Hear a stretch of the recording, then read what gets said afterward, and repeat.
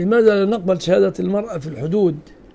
لأن الحدود تدرأ بالشبهات ولما كانت المرأة كما وصفها ربي أن تضل إحداهما فالذاكر إحداهما الأخرى فالضلال قد يرد عليها. فلذلك آه، والحدود تدفع بالشبهات عند الجماهير.